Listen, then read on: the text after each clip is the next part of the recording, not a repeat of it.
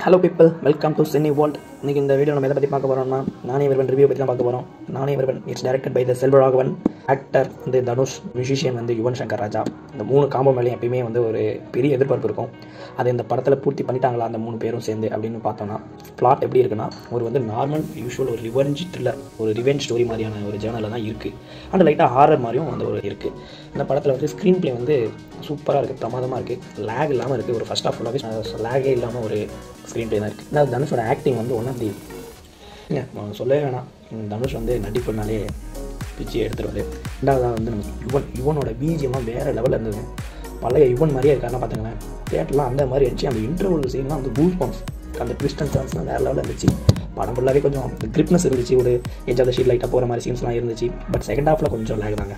Usual Selvaraghavan ஃபிலிம்ஸோடைய அந்த சாயல் லைட்டாக இருந்துச்சு. இட்ஸ் ஒரு ரிவெஞ்ச் ஸ்டோரிங்கனால இது சிம்பிள் ஸ்டோரி தான். பட் வந்து நல்லா வந்திருக்குங்க. படத்தோட ஃபுல் ஓவரால் ஒர்க் எல்லாமே சூப்பராக இருந்திருக்கு. படத்தில் வந்து சின்ன சின்ன சின்ன லேக்ஸ் இருந்தது செகண்ட் ஹாஃபில் ஓவரால் படம் வந்து ஒர்த்ததுங்க ஒன் டைம் வாட்சபிள் தான்.